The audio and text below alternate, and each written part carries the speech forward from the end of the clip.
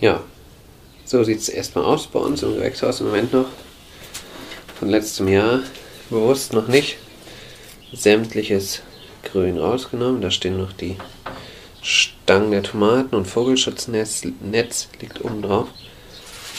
Einfach das Grün noch nicht ganz rausgenommen, komplett, damit es nicht so austrocknet. Ihr seht, eine gewisse Feuchtigkeit haben wir noch drin.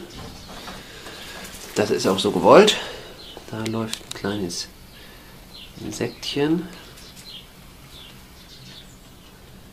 Ja.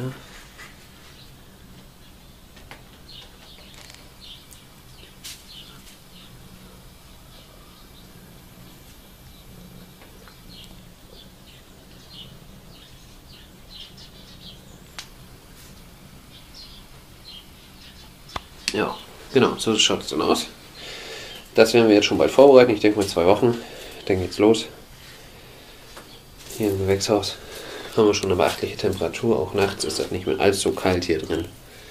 Vielleicht können wir da schon einige Sachen anpflanzen. Und da ist sie wieder, unsere Rosina. Sie ist natürlich immer gerne bei uns und spielt, wo sie nur kann. Auch das ist für mich immer ein schöner Anblick im Frühjahr zu sehen, wenn die ersten Schneeglöckchen rauskommen in der windgeschützten Ecke. Hier ist es jetzt wieder soweit. Da kommen sie wieder raus. Herrlich. Ich finde das genial. Das sind so die ersten Anzeichen dafür, dass der Frühling kommt. Schneeglöckchen, Märzbecher dann. Wunderbar.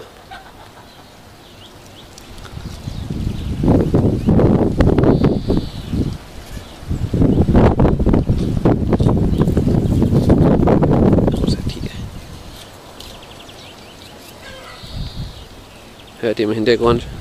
Die ersten Traktoren sind auf dem Feld. Genial.